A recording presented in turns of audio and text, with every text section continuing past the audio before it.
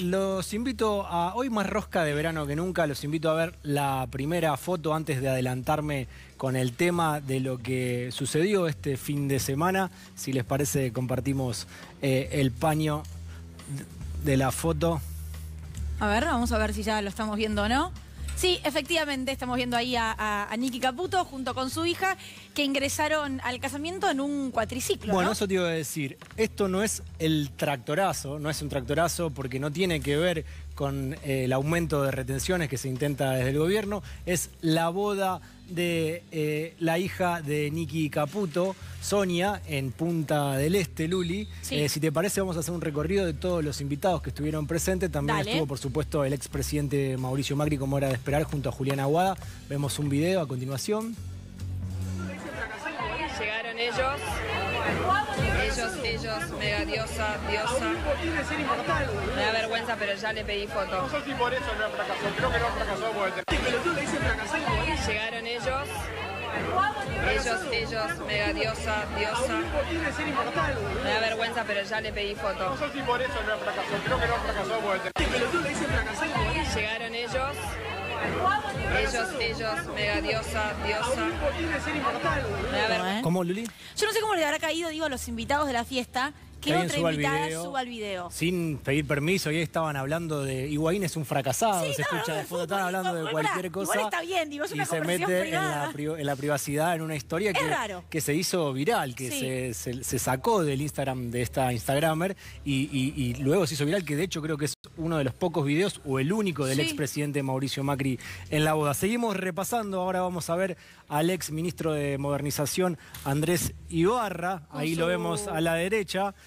Eh, obviamente está acompañado por su pareja, la diputada Carla Piccolomini. Pero ¿sabes quién es el que se ve más adelante? No.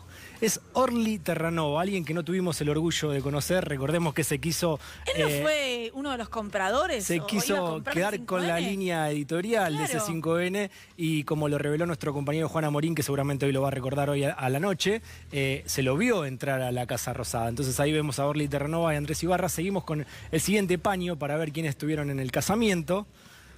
Ahí lo vemos a Rogelio Frigerio con Victoria Costoya. ¿Es su esposa? Vamos a ver, Luli, sí, que ves que ves que tenemos looks como un No, looks no, de bueno, tarde y un looks Está bien, de noche. se ve que arrancó de día, terminó de noche y se llevó el abrigo que lo tiene en la mano, mira. Te cuento hecho, algo, Luli. el mano. viernes hubo una cena para los amigos de Nicky Caputo. Sí, El sábado hubo un sunset cerca de José Ignacio. sí. Y el domingo por la noche se efectivizó eh, directamente casamiento, el casamiento. También estuvo Diego Santilli junto a, a Analía Mayorana, Acá, este es- a este es Ritondo también, acompañado. ¿Ves? Vas a- acá también vamos a ver un look de como de. Bueno, es el mismo look, pero son fotos a la tarde y a la noche. porque claro. hubo tres eventos en diferentes días: viernes, sábado y domingo. Me imagino que con la misma ropa ha sido el No, no, tarde. igual ellos el mismo día, claro, arrancó de día, terminó de noche y este Santilli con Vemos- eh, la- su pareja pero hace sí, modelo. Analía Mayorana. Es conocidísima Analia, sí. Bueno. Muy eh, lindo vestido. Eh, Como te comentaba, hubo tres eventos, viernes eh, cena, sábado sunset, domingo casamiento. Vamos a tratar de hacer un resumen chiquitito de quién es Nicky Caputo, para saber quién es Nicky Caputo, para refrescar. Porque no es Luis Caputo. todo- no es Luis Caputo, no ¿Son es el? Messi de ¿Son la hermanos? finanza, no es el Messi de la finanza, creo que son primos. Son primos, me parece. No es el Messi de las finanzas, Son primos. es un empresario que fue asesor del expresidente Mauricio Macri, pero si te parece, en el siguiente informe Federico Bernal lo deja más claro. Vamos, vémoslo. Niki, una preguntita. ¿Quién se benefició con los tarifazos de gas? No tengo ni idea. ¿No sabe quién se benefició con el aumento de tarifas al gas? No. Usted no, ¿no? Yo seguro que no. ¿Cómo evalúa los tres años de gestión del presidente? No, no hago declaraciones. Perdóname. y es un gran mentiroso. Es, además de todo esto que es clave para entender lo que dice y lo que hace, el dueño de dos distribuidoras de gas, Gas del Centro y Gas Cuyana, y además es dueño, conjuntamente con otros grandes apellidos de esta oligarquía energética argentina, de Central Puerto, que es una empresa que, bueno, es una de las principales empresas de energía, después de la de Marcelo Midlin, la segunda más importante.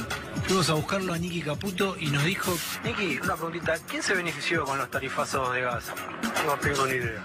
¿No sabe quién se benefició con el aumento de tarifas al gas? No. Yo seguro que no. Eh, Nicolás Caputo ganó en el primer eh, trimestre de este año eh, cerca de 7 mil millones de pesos. El primer trimestre de este año.